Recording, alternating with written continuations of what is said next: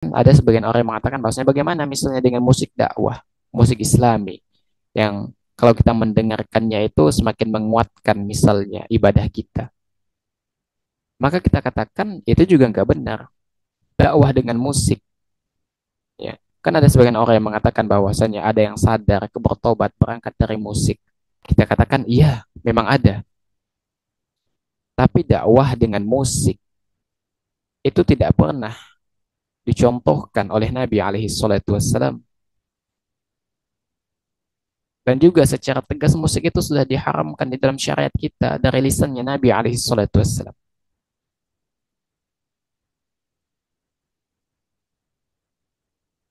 Ini sama halnya dengan kita mencari nafkah dengan jalan yang haram. Niatnya baik, praktiknya keliru ada orang cari nafkah. Cari nafkah kan baik. Tapi kalau nafkahnya dari yang haram, dari riba misalnya, juga nggak boleh. Ada juga orang yang mau dakwah. Dakwah itu bagus. Tapi kalau dengan musik itu nggak boleh.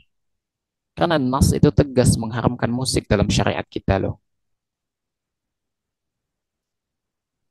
Jadi kalau ada kemudian dakwah menggunakan musik, Oh, kita lihat efeknya bagus gitu. Banyak orang yang tobat karena musik. Maka kita katakan, memang iya,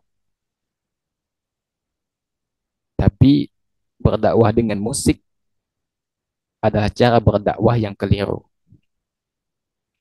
Cara berdakwah yang keliru. Sebagaimana orang cari nafkah, dia menafkahi keluarganya dengan sesuatu yang haram. Itu kurang lebih sama lah alur logikanya.